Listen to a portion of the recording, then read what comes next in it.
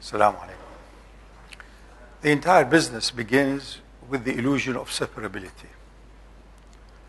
Some unimaginable event took place, and what we consider the universe or universes have occurred from that point. That point signals separability, space. And with that comes what inscribes within it, which is time. So, the issue of every one of us is driven. Everyone is, makes effort, spends energy, hope, expectations, drive. Why? How many wants do you have? How many needs do you have? Where will it end? Can you make one comprehensive list now and don't revise it? What you want? Surely, as we move along with the ladder of consciousness, from very basic life conscious to the will of the mind and its growth, as we grow along that path of wider, deeper awareness or consciousness, our needs seem to also increase. We end up in a world now that the choices that human beings have for every imaginable thing is so enormous that you need you know, an, an app to help you to navigate through that. It's impossible. How many choices you have? Now, it's going to increase because anything on a track will perpetuate that which is its engine. It won't stop. So, what is it that at the end of the day you want? So you stop running faster and faster and more exhausted and even more desperate. Also, you must think seriously as to why you want it. Otherwise, you are completely navigating without a map, without an idea, without any principles, without any ethos. So, why do you want this? Our wants are vast at every level of consciousness.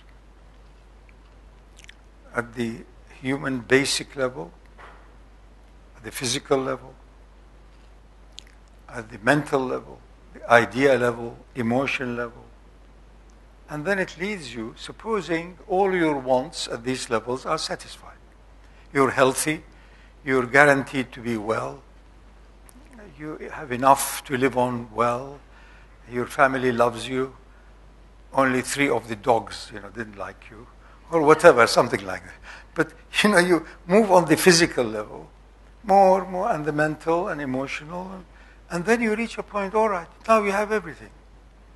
You've been everywhere, you have seen it all, you have done it all, you have married enough, divorced enough, had children or didn't have children, or created orphanages, or you've done enough, enough. Now what?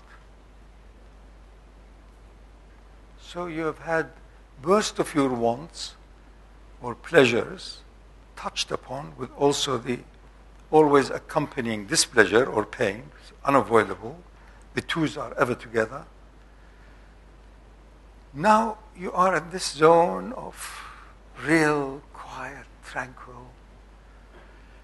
You don't eat anymore, you don't want anymore, you don't you have no more emotional battles with your family, they've all left you. So now what? Big victory. I mean, that's, so now, what is it?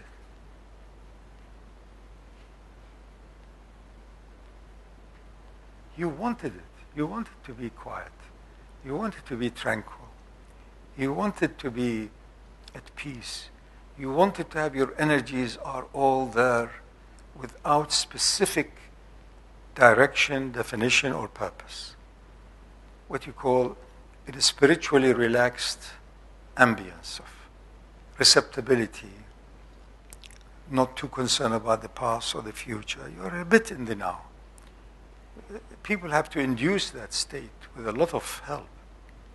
It's our nature to be at a point of beyond pleasure.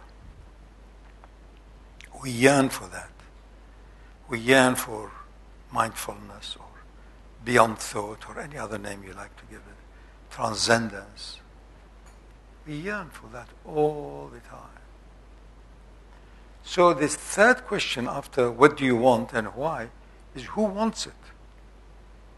Who is it? Who is the speaker? Who are you? I don't know you. You don't know yourself even. But you got used to be looking in that mirror often. So he says, me. But Baba, it's me this year, you know, that we're talking about 30 years ago. That also that time you said me. So who are you? Who is this you, which is ever changing, ever unreliable, but yet within it lies a light or a spark or the idea of continuation. I'm the same. I was six years old. I'm 60. Now I am angry. Now I am content. Now I am suspicious. Now I am trusting. Now stop all that dizzying array of values. And it's impossible. Where does it end? So who are you? How is it you have cognition of these feelings and these events? And a very high level of correlation between other human beings also. They all think they've seen the same event in the same way. 90%. So that's a big thing. So who are you? Something constant, something perpetual, something that is the connector, is the glue, is the love affair of all of these diverse things. And something that's ever changing in time and space, reflecting the time, the age, the culture of whatever is around. In other words, you and your day of living in that milieu at this time, because of the global compressions, the whole world. So that you are in unison. You represent that era. You represent that culture, that time. Time matters. So it's very important. Everything is based on the clock. Very few people have the luxury of responding to the seasons or to the day. It's a very cold, windy day, you don't get up.